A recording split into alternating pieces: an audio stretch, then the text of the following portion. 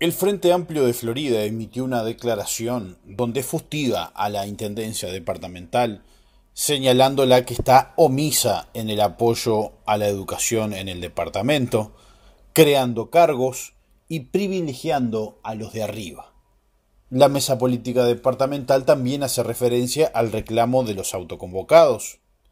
En el primer punto, reconoce algunos reclamos atendibles en la proclama de productores rurales del 23 de enero de 2018 reafirma su apoyo por las medidas que adoptó el gobierno nacional y señala que entiende benefician a quienes tienen más dificultades.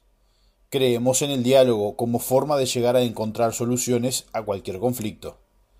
En el segundo punto, en cuanto a la situación de la Intendencia Departamental de Florida, Señala que interesa señalar que mientras surgen protestas por la falta de recursos que significará la disminución de la contribución inmobiliaria rural, se mantiene la falta de austeridad en el manejo de dineros públicos por parte de las intendencias en manos de integrantes del Partido Nacional.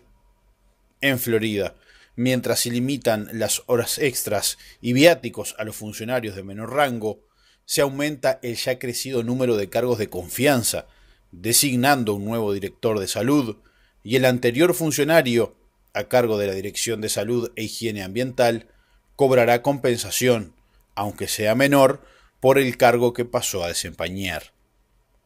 Por el cargo que pasó a desempeñar. En el cuarto punto, señalan que alarma la no renovación del contrato con el Ministerio de Transporte y Obras Públicas para financiar boletos gratuitos a estudiantes que vienen del interior a estudiar en la capital, máxime que se financian con recursos que son en gran parte del gobierno nacional. Es de destacar que la Intendencia de Florida es la única intendencia que no renovó el acuerdo con dicho ministerio. La educación es un derecho humano fundamental que debe ser garantizado, omitiendo la Intendencia de Florida su compromiso en este tema. En el quinto punto, se apunta directamente al intendente de Florida, Carlos Enciso, que señalan apela al recurso histórico de los partidos tradicionales de ajustar hacia abajo y mantener los privilegios de los cargos más altos. Esa es la política que nos espera si ganan las elecciones nacionales, advierte por último el comunicado.